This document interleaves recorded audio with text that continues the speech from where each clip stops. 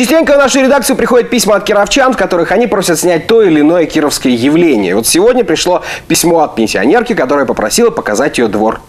Мы не отказали. Сегодня по заданию редакции наша съемочная группа прибыла в двор дома Лепсе 11. Но как по заданию редакции? По заданию Тамары Федоровны, которая написала нам письмо и рассказала, э, дескать, полюбуйтесь, какой у нас великолепный двор. Ну а мы что? Мы рады стараться, полюбоваться это завсегда.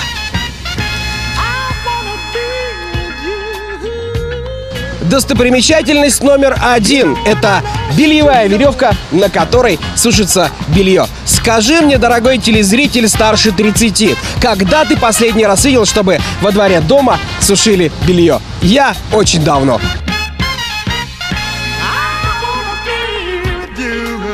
Достопримечательность номер два. Зона релаксации.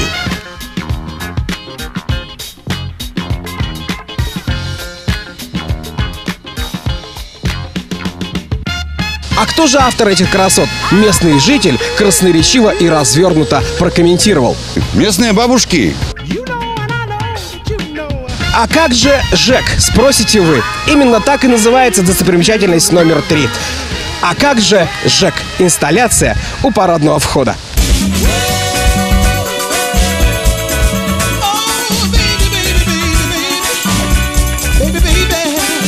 Не, никто не делает. Как вы думаете, почему? А кто их знает? И правда, кто их знает? Вот мы их, например, не знаем. Но зато знаем, что в таких случаях говорят. ay, ay, ay, ay, ay, ay, ay, ay, ay, ay, ay, ay, ay,